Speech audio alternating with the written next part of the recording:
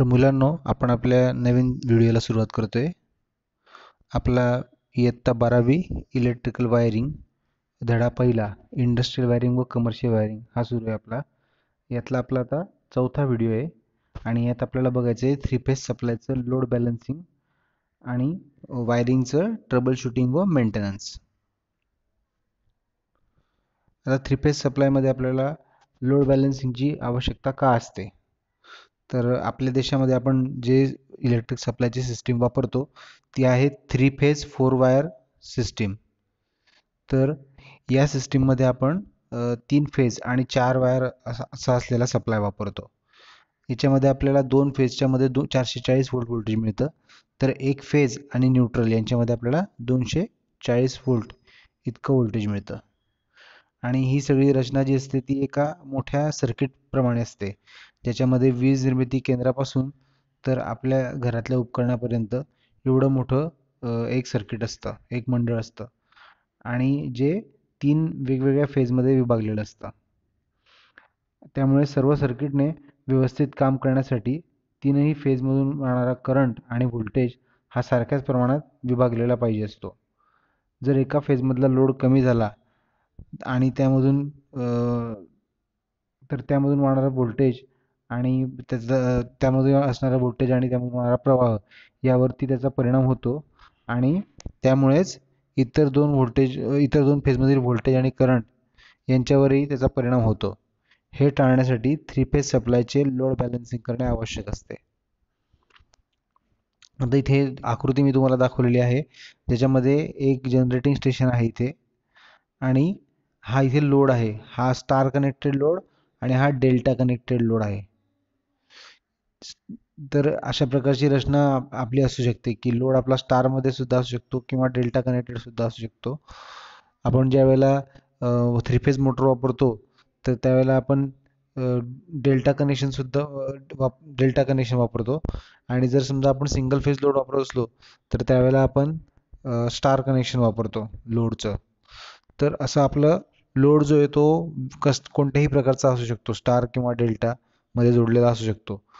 आणि त्यामुळे काय होतं की एकाच वेळेला आपला सगळे उपकरणं चालू असतील असं शक्यता कमी असते.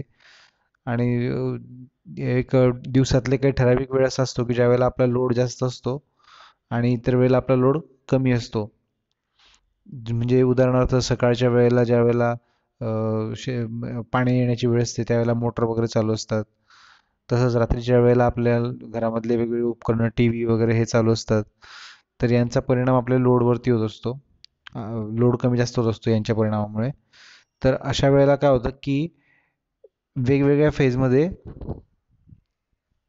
लोड कमी किंवा जास्त असा होत राहतो. आणि जर का तसं झालं तर त्यामुळे इतर दोन फेजवरती जो वाहणारा करंट आहे त्याच्यावरती परिणाम होतो. तसंच मोटरच्या बाबतीत काय होतं की जर का लोड बॅलन्स केलेला नसेल तर ट्रान्सफॉर्मर आणि मोटरचं ओव्हर हिटिंग होतं. आणि त्यामुळे मोटरच्या स्पीडवरती आणि मोटरची जी पॉवर असते त्याच्यावरती परिणाम होतो. आणि त्यामुळे काय होतं की आपलं वीज बिल जे असतं ते जास्त येतं. तर हे टाळण्यासाठी लोड बॅलन्सिंग आवश्यक असतं. आता लोड बॅलन्सिंग कसं करावं? लोड बॅलन्सिंग करताना सर्वप्रथम आपल्याला सर्किटचा एकूण लोड मोजायचा आहे आपण इंडस्ट्रियल वायरिंग बघतो आहोत. तर इंडस्ट्रियल वायरिंगमध्ये आपण त्या कंपनीमध्ये एकूण लोड किती असणार आहे त्या त्या प्रमाणात आपण वायर कोणती वापरायची हे ठरवणार आहे. सर्किटमध्ये कोणती वायर वापरायची हे सगळं आपण ठरवणार असतो. तसंच आपल्याला त्या लोड लोड बॅलन्सिंग करण्यासाठी सुद्धा एकूण लोड किती आहे तेच त्याचा विचार करायचा असतो. मग लोड कोणता? असतो आपला जर पॉवर लोड इंडस्ट्रीमध्ये आपला पॉवर लोड आणि लाईटिंग लोड म्हणजे जे मशिनरी आहेत पॉवर लोड म्हणजे काय तर मशिनरी लेथ मशीन असेल किंवा इतर ड्रिल मशीन असेल किंवा इतर कुठल्याही प्रकारच्या मशिनरी असतील तर त्यांचा त्यांचा लोड आणि त्या इंडस्ट्रीमध्ये आपण जे लाइट वापरणार फॅन वापरणार तर यांचा लोड लायटिंग लोड तर या या सगळ्यांचा मिळून एकूण लोड किती आहे तो आपल्याला शोधायचा असतो. त्यानंतर तो एकूण लोड जो आहे त्याला आपण तीनने भागणार कारण आपले तीन फेज आहेत. तर आपल्याला तिन्ही फेजवर त्याची समान वाटणी करायची आहे. तर आपण तीन समान भाग करणार आणि प्रत्येक फेजवरती आपण एक एक लोड चा एक एक भाग आपण देणार. आणि ते करताना आपल्याला लक्षात घ्यायचं आहे की जास्तीत जास्त समान लोड तिन्ही फेजमध्ये आला पाहिजे. तिन्ही फेजमध्ये लोड वेगवेगळ्या नको. आणि हे करताना चौथी स्टेप आपली काय असणार आहे की पॉवर लोड आणि लाइटिंग लोड म्हणजे मशीनचं कनेक्शन म्हणजे मशीनचे सर्किट आणि लायटिंग लोड म्हणजे फॅन आणि ट्यूबलाईट वगैरे यांचे सर्किट्स हे वेगवेगळे असले पाहिजे. अशा पद्धतीने आपल्याला जोडणी करायची आहे. आता पुढचा आपला मुद्दा आहे वायरिंगचं ट्रबल शूटिंग व मेंटेनन्स आपण ज्या वेळेला असं वायरिंग करणार आहे ती पूर्ण झाल्यानंतर आपल्याला त्याच्यामध्ये कोणते दोष आहेत ते शोधायचे असतात. तर वायरिंग करताना त्याच्यामध्ये कोणते कोणते दोष असतात? पहिला म्हणजे ओपन सर्किट दोष असतो. त्यानंतर शॉर्ट सर्किट दोष लिकेज दोष आणि अर्थ दोष. हे चार प्रकारचे दोष किंवा फॉल्ट आपल्या वायरिंगमध्ये असू शकतात. ओपन सर्किट दोष हा कोण काय असतो? तर याच्यामध्ये आपलं काय आहे?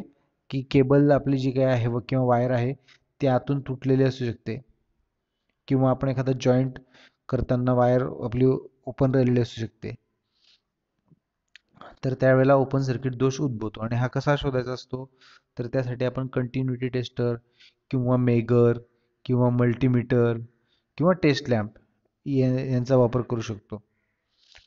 आपण जर समजा टेस्ट लॅम्प लावला आणि जर तो प्रकाशित झाला नाही टेस्ट लॅम्प तर याचा अर्थ त्या सर्किटमध्ये ओपन सर्किट दोष असतो.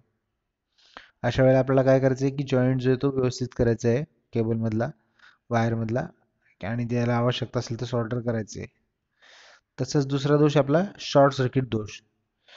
वायरिंग ज्यावेळेला आपण करतो तर समजा चुकून आपल्याकडनं दोन वायर फेज आणि न्यूट्रल हे एकमेकांना जोडल्या गेल्या असतील चिकटल्या असतील त्याच्यावरचं इन्सुलेशन निघालेलं असल्यामुळे किंवा एखाद्या मशीनमधलं इन्सुलेशन जळाल्यामुळे वाइंडिंग जे आहे ते एकमेकांना जोडल्या गेल्या असतील तर त्यावेळेला तिथे शॉर्ट सर्किट दोष उद्भवतो.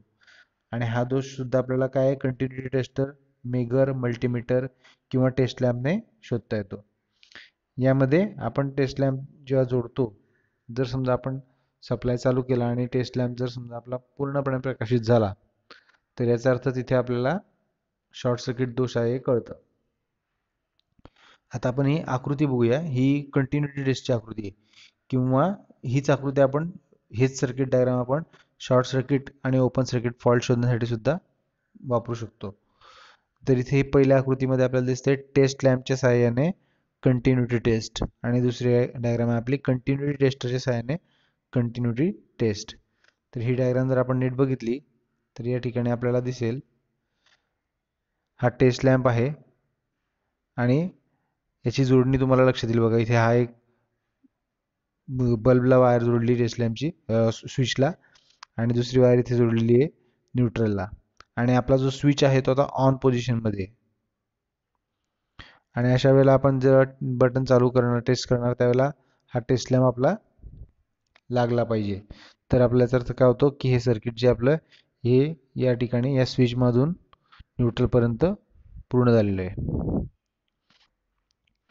तसंच कंटिन्युटी टेस्टरच्या सहाय्याने जेव्हा आपण करणार आहे तर इथे काय करणार आहे आपण त्यावेळेला इथे जोडणी केलेली आहे. सेम जोडणी आहे. फक्त इथे आपण टेस्ट लॅम्पच्या जागी कंटिन्युटी टेस्टर वापरले आणि इथे आपण काय करणार आपला जो स्विच आहे तो आपला ऑफ पोझिशनला असणार आहे तिथे.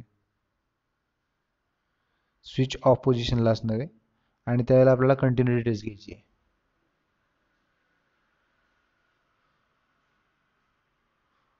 पुढचा दोष आहे लिकेज दोष. याच्यामध्ये काय असतं? तर फेज किंवा न्यूट्रलमधनं जो प्रवाह असतो तो आपला ग्राउंडकडे वाहत असतो. त्यावेळेला आपण म्हणतो की सर्किटमध्ये लिकेज दोष आहे. आणि हा दोष शोधण्याकरता आपण टेस्ट लॅम्प वापरू शकतो. जर का टेस्ट लॅम्प आपण जोडला एक टोक अर्थला आणि एक टोक न्यूट्रलला असं जर आपण जोडलं आणि टेस्ट लॅम्प चेक केला तर जर समजा दिवा मंदपणे लागला डीम लागला तर याचा अर्थ तिथे लिकेज दोष असतो. तसंच पुढचा दोष आहे तो म्हणजे अर्थ दोष अर्थ फॉल्ट जेव्हा आपण एखाद्या उपकरणाला हात लावतो आणि त्या उपकरणाच्या आतली जर का वायर त्याच्या बॉडीला टच झाली असेल तर त्यावेळेला आपल्याला शॉक लागू शकतो. तर त्याला आपण म्हणतो अर्थ फॉल्ट किंवा अर्थ दोष. टेस्ट लॅम्प वापरून आपल्याला हा दोष जेव्हा शोधायचा असतो त्यावेळेला आपण काय करणार? तर एक वायर आपली टेस्ट लॅम्पची बॉ बॉडीला लावणार आणि दुसरी लावणार आपण ग्राउंडला अर्थला आणि आपण सप्लाय चालू करणार टेस्ट लॅम्पचा जर का दिवा जास्त प्रकाशित झाला त्याचा अर्थ त्या ठिकाणी अर्थ फॉल्ट आहे आणि त्याच्यावरती उपाय काय असतो? तर ज्या ठिकाणी वायर टच होत असेल बॉडीला त्या ठिकाणी इन्सुलेट करायचं आणि अर्थ फॉल्ट दूर करायचा असतो. हे इथे आपण मेगरच्या साह्याने आपण इथे अर्थ फॉल्ट चेक करण्यासाठी आकृती सर्किट डायग्राम बघतोय. इथे आपल्याला काय करायचं आहे तर लॅम्प जो आहे तो सर्किटमधनं काढून टाकायचा आहे. इथे लॅम्प दाखवला आहे सर्किटमधनं काढलेला. उपकरण सर्किटमधनं काढून टाकायचं आहे आणि त्यानंतर या ठिकाणी हे कनेक्शन करायचे आहेत. अर्थला आणि बॉडी बा स्विचला आणि नंतर आपल्याला मेगर चेक करायचं आहे मेगरचं रिडिंग पॉईंट पाच ओहमपेक्षा जास्त पाहिजे. पॉईंट पाच मेगा ओहमपेक्षा जास्त पाहिजे. तर याचा अर्थ आपलं जे वायरचं आहे त्याच्यामध्ये अर्थ फॉल्ट नाही आहे वायरिंगमध्ये तर अशा प्रकारे आपण वायरिंगचं दोष शोधतो आणि ते दोष दूर करतो. हा होता आपला चौथा व्हिडिओ आता आपण परत आपल्या ज्या धड्यातले उर्वरित टॉपिक जे ते पुढच्या व्हिडिओमध्ये बघूया.